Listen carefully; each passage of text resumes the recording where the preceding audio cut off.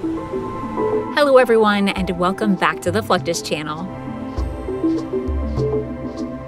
Offshore windmills are wind turbines installed in the ocean or large lakes, becoming increasingly popular as a source of renewable energy.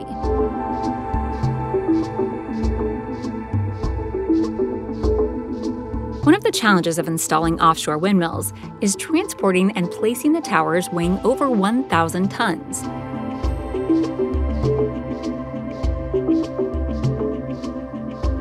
Solutions like MacGregor's Colibri crane work as self piling cranes mounted on a jack-up vessel, having several advantages over traditional methods of transporting and installing offshore wind turbine towers.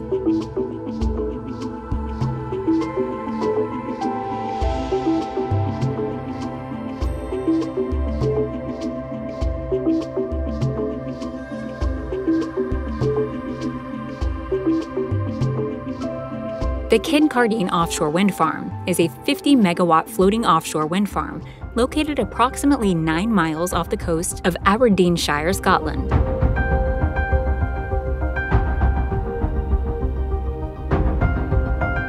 It is the largest floating offshore wind farm in the world and the first to use wind turbines of more than 9 megawatt capacity,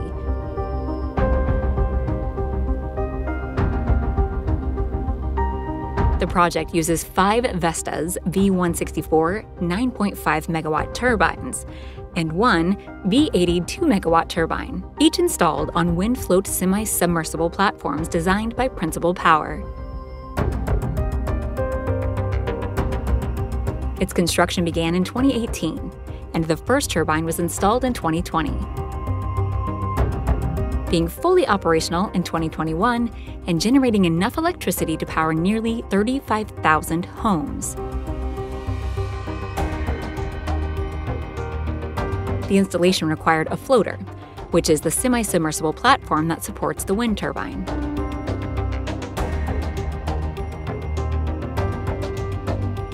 This was towed to the quayside in Dundee, where the wind turbine was assembled in a controlled and efficient process, thanks to the wind float technology.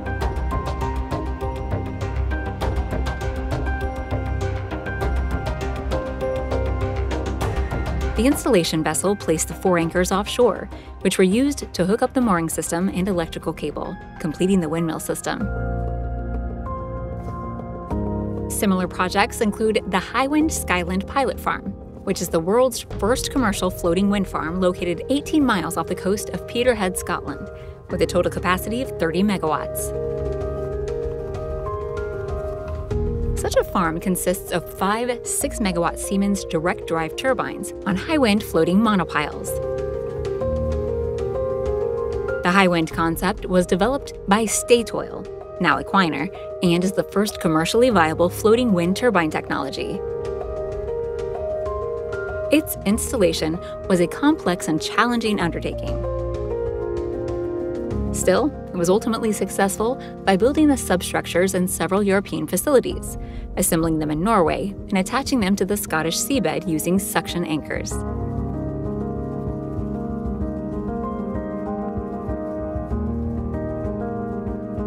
Well, this is a, a pilot park with five turbines the next step is, of course, to, to go bigger and into new areas. And it is also well worth uh, pointing out that we have a technology qualification program, which is very important part of Hywind Scotland, uh, which will feed in research data into future projects. Service jackup vessels are specialized ships used to install and maintain offshore wind turbines.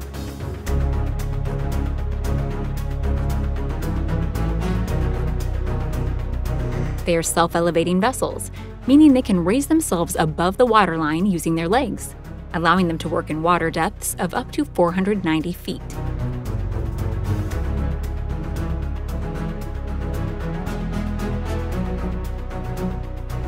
Fred Olsen Windcarrier is one of the world's leading providers of JIVs, including the Brave Tern, a state of the art vessel capable of installing the largest and most powerful wind turbines currently available.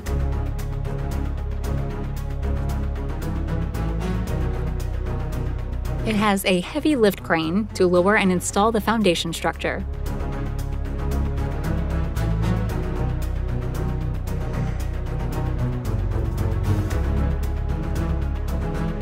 This may involve drilling into the seabed or using gravity anchors. Lifting and securing the wind turbine tower onto the foundation using specialized bolting and welding techniques.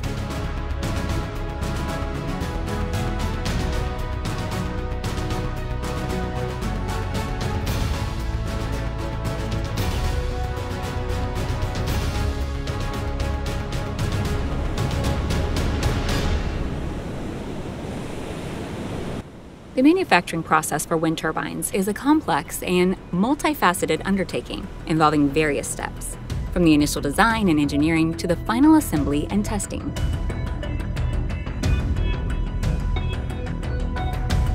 The tower, which supports the wind turbine blades and nacelle, is typically made of steel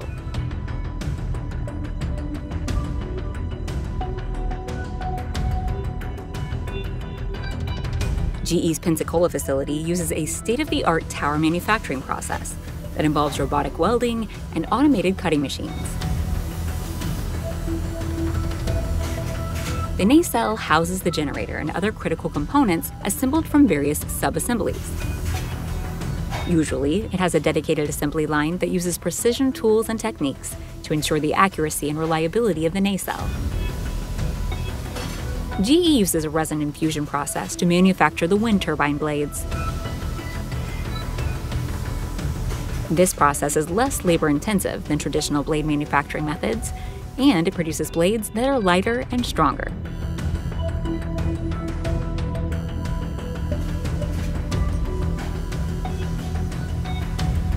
GE's Pensacola facility has a dedicated testing area where the wind turbines are subjected to simulated wind loads of up to 150 miles per hour.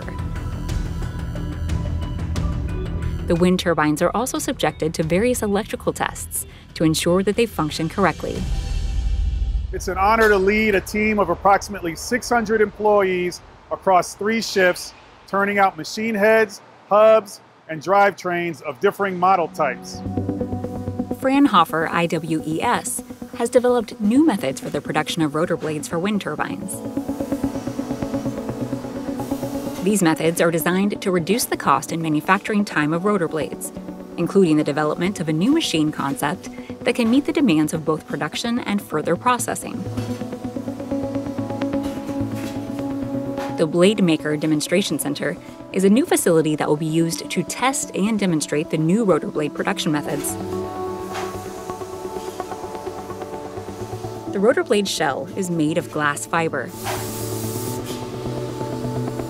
It is manufactured using a process called vacuum infusion, impregnating the glass fibers with resin and then applying a vacuum to draw the resin into the fibers.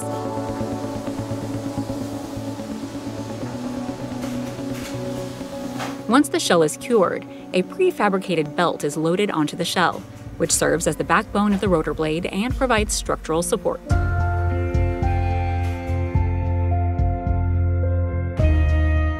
The rotor blade is packed up in a vacuum foil, and a vacuum is applied, soaking the space between the fibers in liquid resin.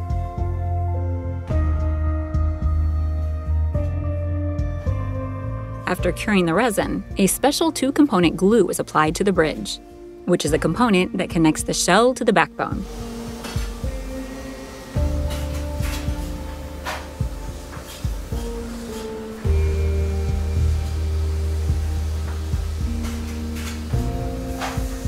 Finally, the component is hardened and shape verified, obtaining the final product.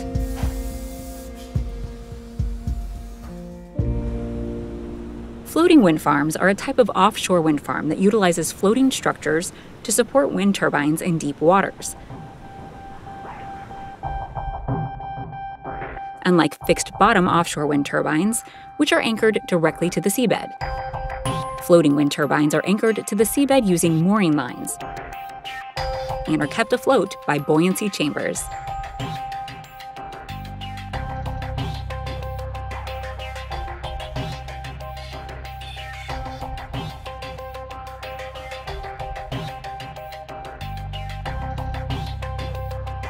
Electrical cables connect the wind turbines to a substation on the floating structure or onshore. From there, the electricity is transmitted to the grid.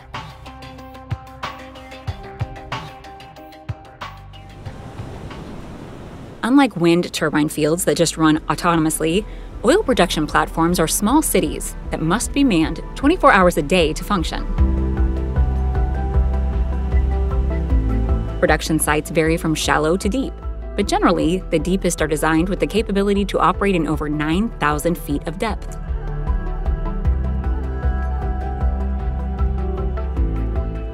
Oil rigs are self sufficient.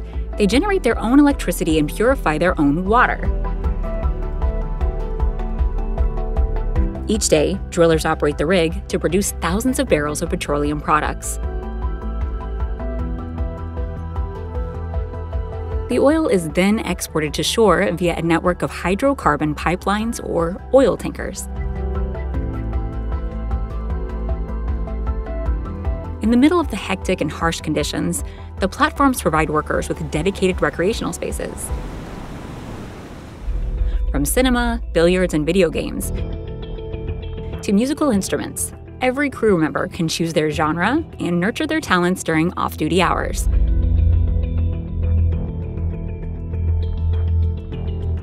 Additionally, the crew recharges their energy with nourishing meals and good discussions around the table. The food is prepared on board and served fresh by specialized cooks.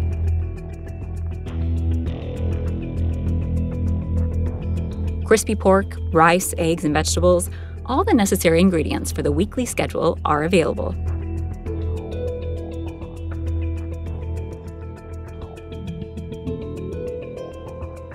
The crew on oil rigs often work 21 days, followed by 21 days off, or two weeks, followed by three weeks off, depending on company policy.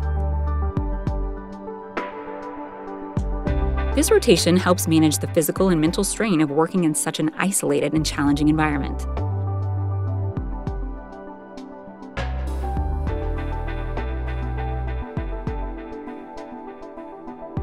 Going to work on oil rigs is as special as working on them. The crew arrives at work by helicopter or supply ships. The transportation mode depends on the distance from the shore.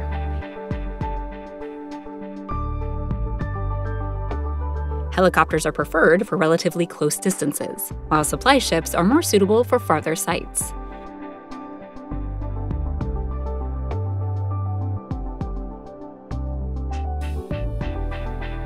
Upon arrival, newcomers undergo safety briefings and introduction to familiarize themselves with the rig layout.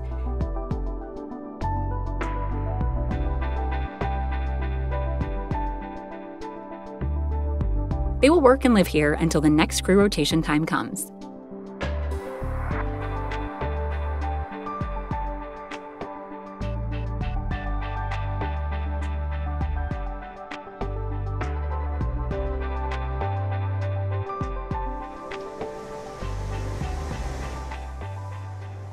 A typical workday on an oil rig is long, usually comprising 12 hour shifts, which can be either day or night shifts.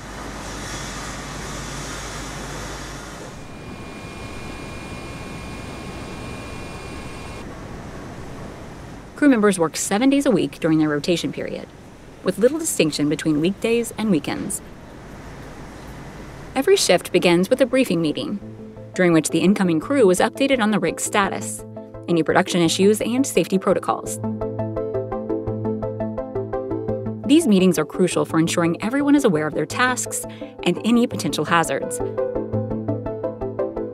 Once briefed, crew members head to their respective stations.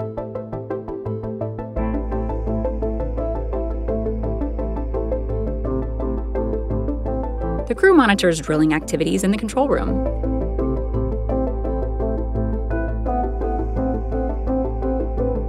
From these advanced systems, they have absolute control over both topside facilities and subsea wells. They can open and close the valves remotely to control the amount of extracted oil. They are also responsible for multiple other indicators,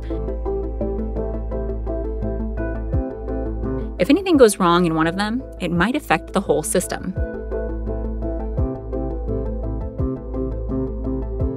Fortunately, production engineers are there to troubleshoot any potential issues.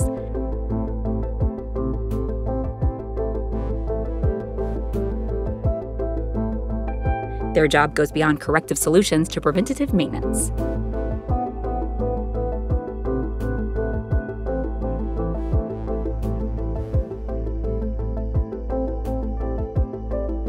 Sometimes unexpected events might arise, pushing the limits of engineers to come up with immediate and creative solutions.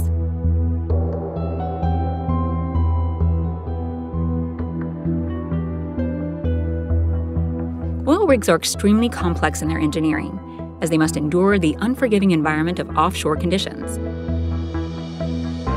The design process of these platforms can be even longer than the construction itself. The evolving business landscape, especially the new regulations regarding sustainability, poses many challenges for oil rig builders. As the world pushes toward cleaner energy solutions, offshore platforms, whether powering wind turbines or pumping oil, remain marvels of engineering and endurance. From the advanced cranes that install floating wind farms in deep waters to the self sustaining oil rigs that operate like cities at sea, each structure represents humanity's determination to harness natural resources in the harshest environments. Whether it's generating electricity for thousands of homes or extracting vital fuel reserves, these platforms reflect a blend of innovation, resilience, and skilled manpower that keeps both the global grid and economy running.